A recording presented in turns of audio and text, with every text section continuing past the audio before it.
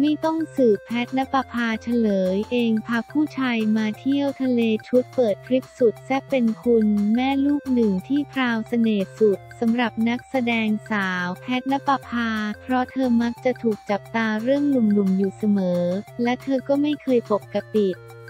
ไม่ว่าจะคบจะเลิกจะคุยกับใครสถานะไหนสาวแพทก็เปิดเผยชัดเจนเสมอแม้หลายคนจะโฟกัสไปที่เรื่องหนุ่มๆของเธอ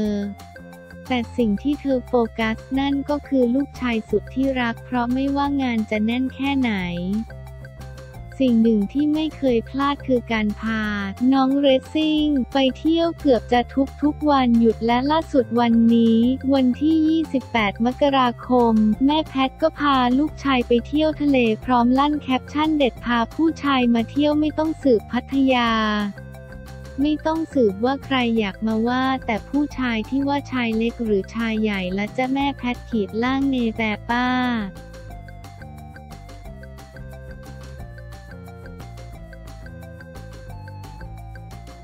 บิวจักรพันธ์ประกาศลาออกต้นสังกัดชีวิตพังทลายสิ้นขอเอาความจริงสู้ในชั้นศาลบิวจักรพันธ์ประกาศลาออกต้นสังกัดปมดราม่าทำร้ายร่างกายผู้หญิงลั่นชีวิตพังทลายสิ้นหายใจยังผิดขอเอาความจริงสู้ในชั้นศาล จากกรณีที่บิวจักรพันธ์พุทธานักแสดงจาก KinnPorsche The Series ถูกปอยพันชยมนนักเขียน ซึ่งเป็นอดีตแฟนสาวออกมาแฉทำร้ายร่างกายหลอกเงินเปย์ผู้หญิงอื่นพร้อมโชว์หลักฐานโอนเงินต่างๆ จนเกิดแฮชแท็ก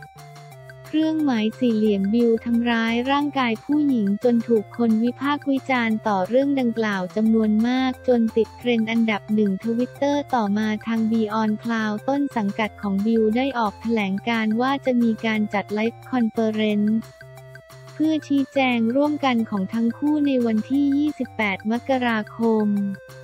แต่ภายหลังปอยได้ปฏิเสธการแถลงข่าวร่วมโดยทวีตผ่านทวิตเตอร์ส่วนตัวว่า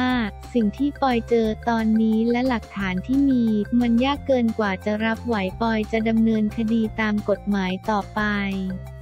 และไม่ให้อภัยไม่อโหสิกรรมใด ๆ ทั้งสิ้นขอทั้งชาตินี้และชาติหน้าอย่าได้เจอกันอีกเลย หากเจอนั้นขอเจอได้ที่เดียวคือที่ศาลค่ะ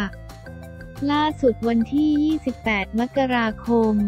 บิวได้ออกมาชี้แจงและเปิดใจถึงเหตุการณ์ที่เกิดขึ้นด้วยสีหน้าเคร่งเครียด ผ่านทาง YouTube Channel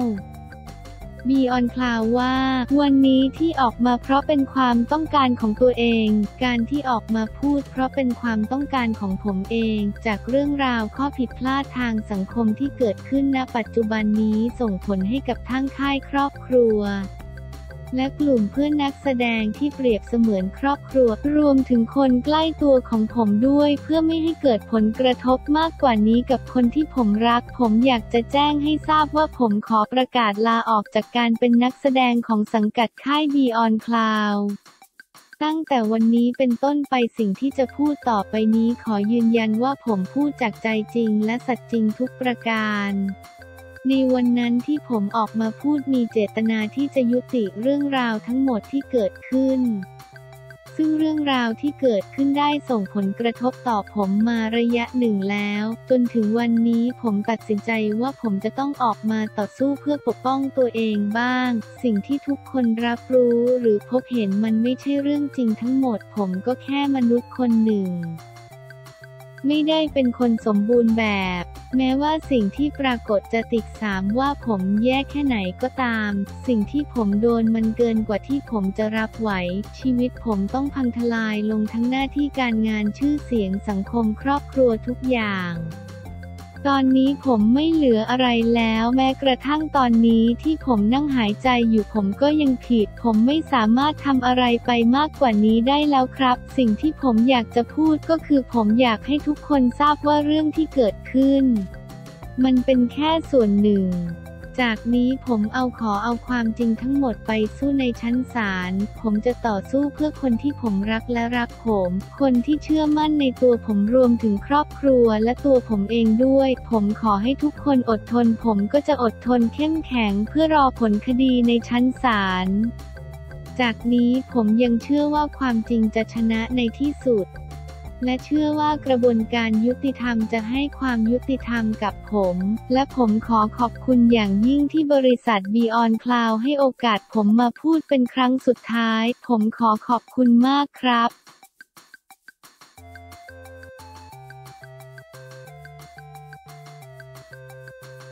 ริสติน่าเสียน้ำตาเล่านาทีสูญเสียคุณพ่อเผย moment รวมตัวสี่าเมืองไทยในรอบหลายปียันไม่ปิดใจเรื่องความรัก Queen of Dance เมืองไทยคริสติน่าอากีล่าควงน้องสาวเอ๋ เทเรซา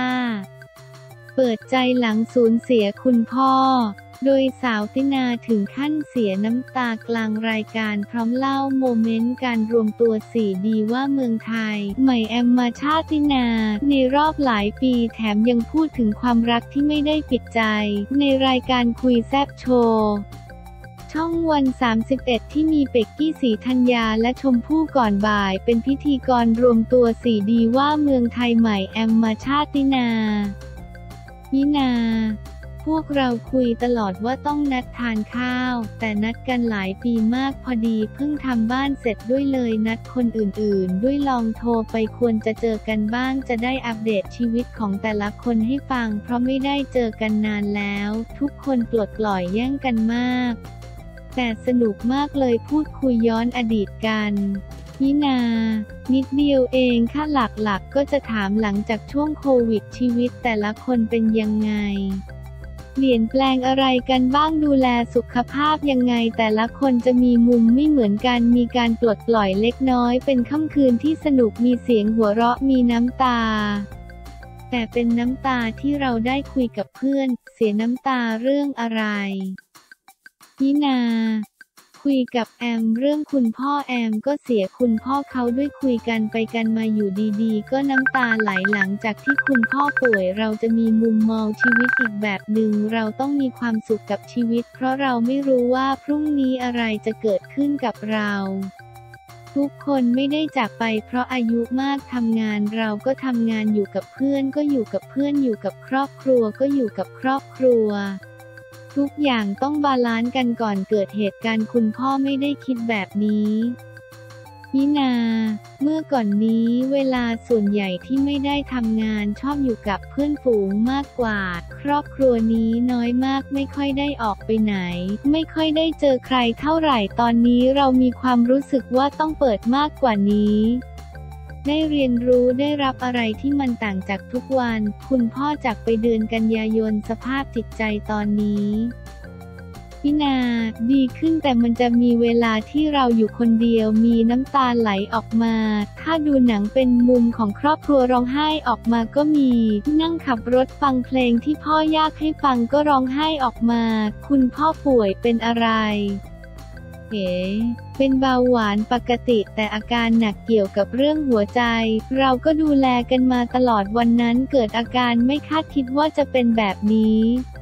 พลิกเลยในวันเดียวกลายเป็นเข้า ICU ตินา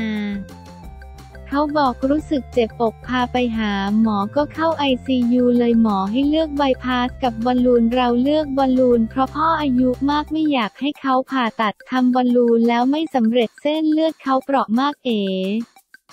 ก็อยู่ ICU เดือนหนึ่งช่วงนั้นเป็นช่วงโควิด ด้วยตินาว่างเราจะไปหาพ่อทุกวันเขานอนไม่มีสตินานจนเริ่มรู้สึกตัวแต่ก็ไม่เหมือนเดิม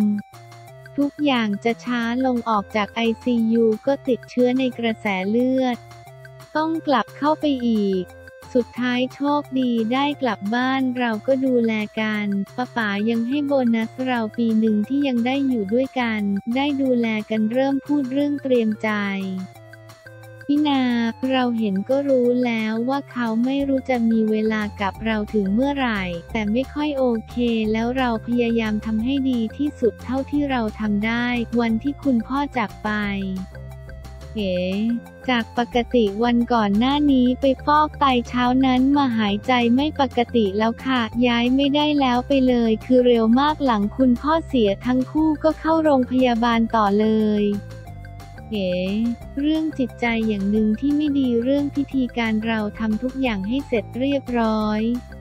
ก็ไม่สบายกันเข้าโรงพยาบาล หลังจากนั้นกว่าจะฟื้นก็นานเหมือนกันปินาก่อนพ่อเรามีการคุยกันแล้วว่าถ้าวันหนึ่งเราไม่สบาย ติดเตียงไม่ต้องยื้อเลย มันทรมานทั้งคนที่ไม่สบายและคนที่ต้องเห็น ถามเรื่องหัวใจไม่เจอคนถูกใจเลย พี่นา เราไม่ค่อยออกไปไหนไม่ค่อยได้เจอใครเอ๋สิบปีที่เลี้ยงลูกมาเราไม่ออกไปไหนเขาก็ไม่ออกไปรอเอ๋ออยู่ เอ๋ว่าเขาหาความสุขด้วยตัวเขาเองได้ happy อยู่บ้านตินา อาจจะเป็นคนที่มีโลกส่วนตัวค่อนข้างสูง อาจจะเป็นอย่างนี้มาตั้งแต่เด็กด้วย ยิ่งมาทำงานมันเป็นส่วนหนึ่งของการที่เราปกป้องตัวเอง เหมือนเรามีกำแพงมีคนมาจีบหรือจู่โจมไหมเอ๋ถ้าจู่โจมตินาจะมองว่าไม่มีมารยาทตินา มันจงแจ้งไปดูน่ากลัวไปหน่อย ส่วนตัวชอบคนที่มีความเป็นผู้ใหญ่ มีความเป็นผู้นำเราคุยได้ทุกเรื่องเราเปิดใจนะมีไปเด็ดการที่เราจะยอมเปิดใจไปรู้จักอีกคน บางทีผู้ใหญ่บอกคนนี้เป็นคนดีนะ เราลองคุยดูถ้าเพื่อนบอกเราลองคุยดูแต่เราจะเป็นคนเรื่องเยอะมีหมอดูทักว่ายังไงก็มีเนื้อคู่ เอ๋ทักมาหลายคนทักมาตลอดจนไม่ดูแล้วเขาบอกว่ามีตินา ชื่อว่าทุกคนมีคู่เพียงแต่ว่าจะเจอหรือไม่เจอก็นั่งรออยู่หัวเราะถ้าขอพรจะขอสุขภาพการงานครอบครัวมากกว่า ถ้าเรื่องความรักถ้ามันจะมีมันก็มี เราไม่ใช่คนเดือดร้อนที่จะต้องมีแฟน ทุกวันนี้ก็ไม่รู้สึกขาดเอ อยากให้มีคนดูแลเราเป็นน้องดูแลที่มันก็ปกติ ถ้ามีอีกคนนึงมาช่วยดูแลเขาก็น่าจะมีความสุขในอีกแบบ อยากให้เขามีความสุขมีหนุ่มน้อยในดวงใจแล้วเอ๋เป็นลูกของเอ๋เองอายุ 14 เป็นนักกีฬาว่ายน้ำทุน โรงเรียนแข่งคัดเลือกเยาวชนทีมชาติ คัดเลือกยุวชนโลกด้วยอยากให้ติดทีมชาติ เก๋ไม่ได้คาดหวังอะไรเลยค่ะให้ลูกว่ายน้ำปกติอยู่ดีๆ เขาก็มีความตั้งใจว่ายน้ำจริงจัง เราก็สนับสนุนแค่นั้นเองตินา พอมีหลานเรามีความรู้สึกว่าไม่ต้องมีลูกแล้ว เราโฟกัสที่หลานมอบความรักให้เขาดีกว่าอยากให้เข้าวงการบันเทิง เก๋จริงๆ ไม่ได้ห้ามไม่ได้สนับสนุนแล้วแต่เขาเลย แต่ตอนนี้ฝันของเขาคือการว่ายน้ำอยากให้เขาทำฝันเขาให้เรียบร้อยก่อน หลอกขนาดนี้หวงไหม เอ๋ตินาห่วงมากกว่าตินา ห่วงนิดนึง แต่ว่าเราเป็นห่วงมากกว่า เราเห็นสังคมปัจจุบันน่ากลัวมาก แต่มีความโล่งใจพอเขาโฟกัส เรื่องว่ายน้ำเขาไม่มีเวลาอย่างอื่นเลย เขาไม่ค่อยชอบออกไปข้างอเนกเหมือนกัน เราก็เคยแอบถามเขามีสาวหรือยัง